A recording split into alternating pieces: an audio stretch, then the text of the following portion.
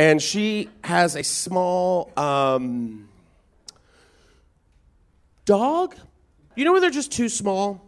Just too small, shouldn't be alive. You know, it's just too. It's tiny. It's what the fuck is that? It's just. It's like it's like made. It has like three bones and bubble gum and hair. That's all it is.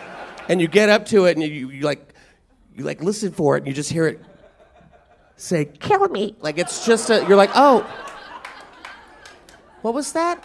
And then when it barks, it's like this. It's like a, and you're like, okay, that's enough. Back to hell. Back to hell. That's quite enough.